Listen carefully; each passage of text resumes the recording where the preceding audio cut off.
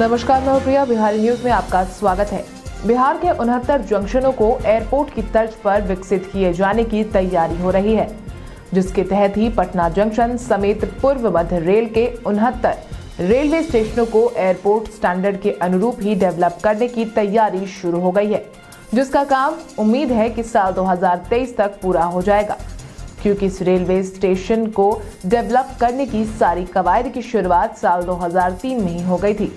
इसी दौरान high speed और प्राइवेट ट्रेनों के परिचालन को लेकर तैयारियाँ की जा रही थी। हाल ही में मध्य प्रदेश के रानी कमलापति रेलवे स्टेशन को डेवलप किया गया है। पूर्व मध्य रेल में गया और पटना जंक्शन पर एग्जीक्यूटिव लाउंज का काम चल रहा है। इसी कड़ी में वेटिंग रूम और डोरमेट्री को नए सिरे से डेवलप किया जा रहा है।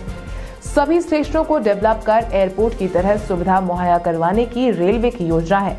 पूर्व मध्य रेल के एक अधिकारी की माने तो रेलवे बोर्ड ने पूर्व मध्य रेल के 55 स्टेशनों पर काम अब अंतिम दौर में पहुँचा दिया है। इसी क्रम में 24 एक्सीटर और 18 लिफ्ट लगा दिए गए हैं। वहीं अब उनतीस एक्सीटर और 40 नए लिफ्ट को लगाने का काम किया जा रहा है।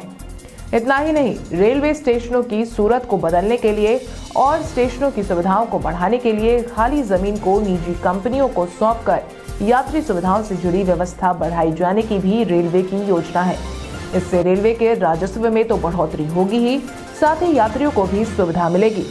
मिली जानकारी के अनुसार, वर्तमान समय में पटना जंक्शन के करबिघैया साइड को नए सिरे से डेवलप किए जाने की तैयारी है। इसके लिए पश्चिम साइड में मीठापुर फ्लाईओवर के नीचे पुराने टू टाइप रेलवे क्वार्टर को तोड़ा जाएगा और उस ज़मीन पर मल्टी स्टोरी बिल्डिंग के साथ शॉपिंग मॉल और यात्रियों की ज़रूरत के अनुसार कई अन्य अत्याधुनिक सुविधाओं की शुरुआत होगी।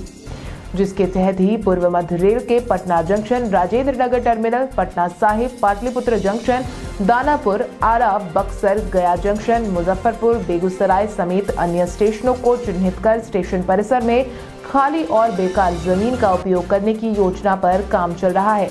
इस योजना के तहत फ़िलहाल रेल भूमि विकास प्राधिकरण 7,361 वर्ग मीटर ज़मीन को पट्टे पर देने की तैयारी में है। इसको लेकर टेंडर आमंत्रित किया गया है।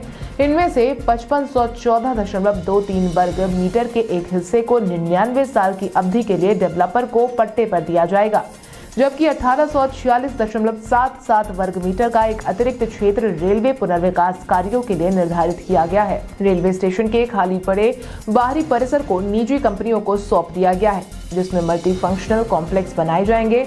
इसमें वातानुकूलित कमरे भी होंगे। इस कॉम्प्लेक्स में शॉपिंग मॉल भी रहेगी।